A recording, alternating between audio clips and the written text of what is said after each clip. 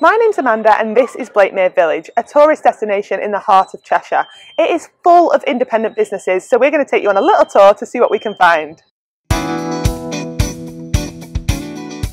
So in the corner of the courtyard you'll find Greg Nicholson's Golf and Leisure. So you just go through here, up the stairs and you won't believe he calls it the Aladdin's Cave and you'll see why.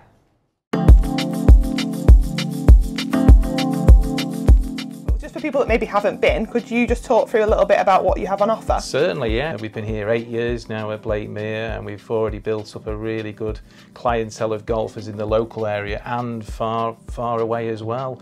Uh, we are a specialist in what we do. Custom fitting is most important to golfers these days. What can you kind of provide for someone who, like a beginner? Definitely. What we would normally do is ask the customer really what their budget is, size of hands, grips, uh, shaft flexes. Big There's a lot more to it than people think. All the accessories as well. So we have a multitude of golf balls.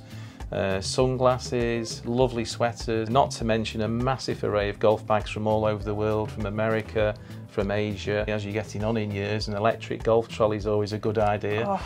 And what is in this room at the back here? Well, what goes on in here, there? This we'll is where the business end of the market is. We actually have a swing room now but we have to do it by appointment so people can make an appointment over the phone or they can come and see us. We'll work with the customer to get them into the swing room and check everything out so we can look at their swing speed, make sure that they get the right club suitably correct in every sense of the word. Uh, it would be cool to have a little practice. Would I be able to test my swing? I think we can swing? do that, yes, yeah. Should we have Let's a go do at that? It. Yeah, okay. drop it down, drop it down, drop it down. Great, Yay! down the middle. Just like that. Oh my god. Did you get that? Yeah. yeah.